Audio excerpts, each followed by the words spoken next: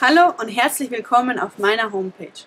Mein Name ist Melanie Meilinger, bin 28 Jahre alt und komme aus Mühlbach-Moorkönig. Seit 2011 bestreite ich nationale und internationale Buckelpisten-Wettkämpfe. Mit der Teilnahme bei den Olympischen Spielen 2018 in Pyeongchang konnte ich mir meinen Kindheitstraum erfüllen. Da die Disziplin Buckelpiste ein Schattendasein führt, möchte ich euch gerne einen kleinen Einblick geben. Es gibt Einzel- und Parallelbewerbe in der Buckelpiste. Im Durchschnitt ist eine Buckelpiste zwischen 200 bis 250 Meter lang und die Buckel sind im Abstand von ca. 4 bis 5 Metern. Im ersten und letzten Drittel gibt es zwei Schanzen, auf der jeweils unterschiedliche Sprünge gezeigt werden müssen.